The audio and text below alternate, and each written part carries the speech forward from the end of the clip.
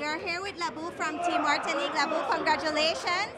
You're going to be facing Costa Rica, Panama, and El Salvador in the group stage of the Gold Cup. What are your thoughts about that? Um, we, we're very happy to, to, to participate in the Gold Cup in the row. Uh, right now, uh, we have a difficult group, but we, we play uh, before against uh, Panama and uh, Costa Rica. So I, I think we, uh, this, this. So we, we try to, to, to do all the best, uh, the best for, for, for the, the group stage. Okay, and just talk to us about how you're feeling about this qualification. Uh, it's amazing. Uh, it's my first Gold Cup, so uh, I just uh, I'm just very happy and I just want to to to to to